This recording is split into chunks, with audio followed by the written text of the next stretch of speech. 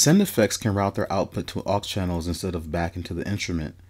But with the gainer module, you can send a signal from the group directly to an aux channel. In today's video tutorial, I'll show you how to route a group to an aux channel using the gainer module. And never miss a tutorial by subscribing to our YouTube channel at youtube.com slash adsrtuts. So, send effects can route their output to aux channels instead of back into the instrument. But with the gainer module, you can send a signal from the group directly to an aux channel and optionally out to the hardware effects or into your DAW. So what this does is it bypasses the instrument effects. So this entire chain gets bypassed. Normally in an instrument, um, the signal flows downward from, from the uh, group to the instrument bus to the insert effects. Using the gainer module, you can um, send the signal directly out of the instrument from the group and you'll bypass the um, the insert effect slot. So let's take a look at how you can route a group to an aux channel using a gainer module and then route that aux channel to your DAW. Um, in this case, I'm going to use Logic Pro X and then I'm going to be inserting one of my favorite reverbs of Valhalla Room. So first what we want to do is we want to select the group we want to route the aux channel to by selecting it in the group editor. So just open up the group editor. In this case, I only have one group, so not a, not a big deal. But if you have multiple groups, you want to make sure that you select the one that um, that contains the the uh, sounds that you want to route to the aux. And also a trick that I always like to repeat um, is if you have more than one um, group um, selected, if you go to the monitor tab and you go to groups, you can see a list and it lets you select um, more than one.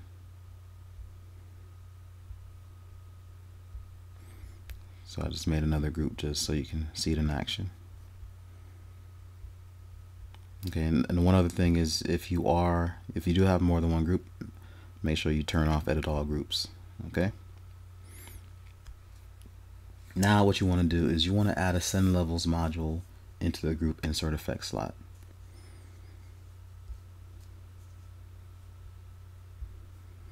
Okay. Now in the insert um, in the instrument send effects module, you want to add a gain a gainer module into the slot.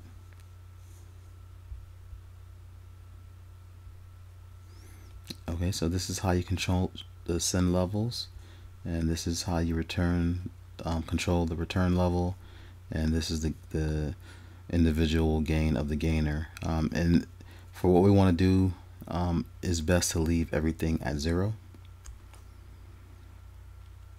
So after you insert the gainer module into the send slot, the return control appears, and this is what you see down here. What you want to do is you want to click the eye icon, this little icon right here, and you want to choose um, one of your auxes. I'm going to choose aux 1, and this is where the output of the gainer will be routed to. So instead of going back into the instrument, so um, what happens is it goes source, it goes group, um, and then from the group it goes directly to the send effects. And then the send effects goes when you it goes when you use a gainer it goes instead of coming back into the instrument to keep going down it goes directly to the aux. So it bypasses the instrument bus it bypasses the insert effects okay?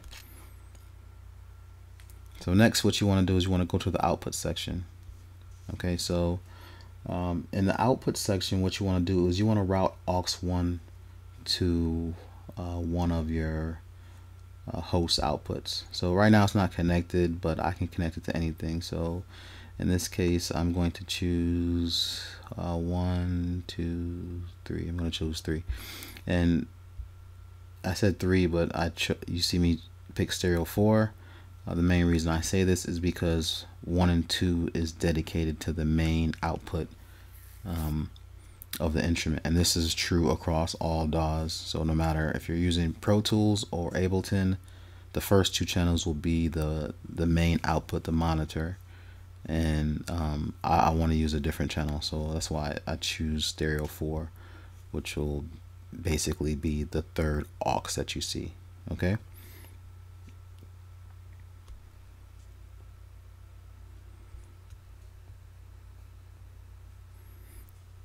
Okay, now I'm going to shift gears to um, Logic. Let me close this so you can see it. In Logic, I have um, I have the auxes here. Actually, let me make sure I'm on the right place. Okay. All right, so I have my auxes already added, and uh, if you don't know how to add auxes um, to your um, DAW, you might want to consult your manual or look for some additional videos on YouTube. And Logic is pretty simple. Just add, click the plus sign. Okay, so I'm on aux 3. So what I want to do is I want to insert my reverb plugin. Um, in this case, I'm using the Valhalla Room.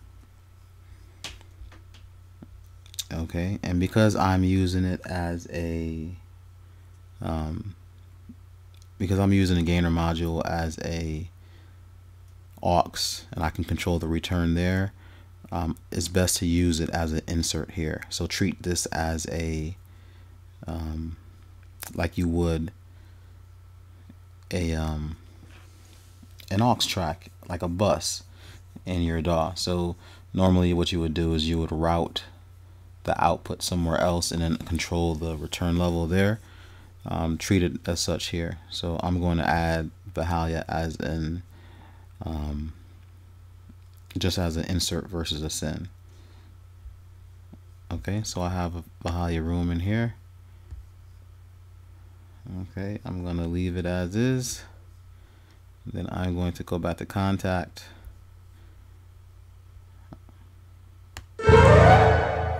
All right, so now you can hear the uh, you can hear the effect clearly. Uh, all right, so what I can do now is I can control the return in a couple different places. I can control it inside Logic. Um, I can control it in the output section.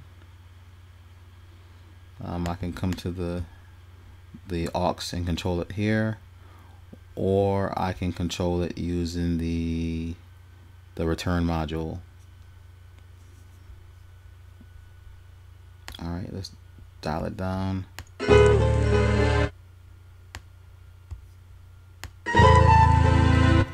So now you can hear it.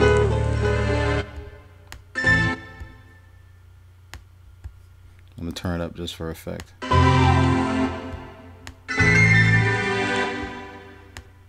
Man, even on even on default, the Valhalla Room sounds amazing.